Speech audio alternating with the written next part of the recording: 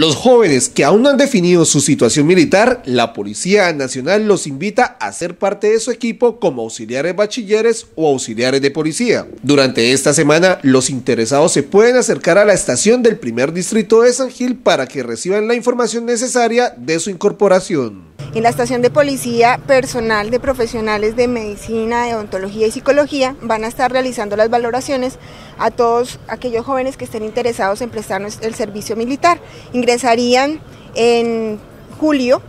es un año, son 12 meses exactamente lo que dura su servicio militar y pues eh, no tendrán que desplazarse a Vélez aquí en la estación de policía el día de hoy, mañana y hasta el viernes en horas de la mañana van a estar las profesionales haciendo las respectivas valoraciones y de una vez se les define si están pues, aptos para prestar el servicio militar con nosotros. Uno de los principales requisitos es que se encuentren entre los 18 a 28 años de edad y que sean bachilleres. Deben traer el acta y diploma de grado, la cédula de ciudadanía de ellos y de los padres, si alguno de los padres falleció, debe traer el acta de fusión,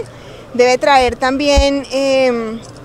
el registro civil y unas fotografías. Debe acercarse para revisar la documentación y pues, realizar las respectivas valoraciones a la estación de policía San Gil.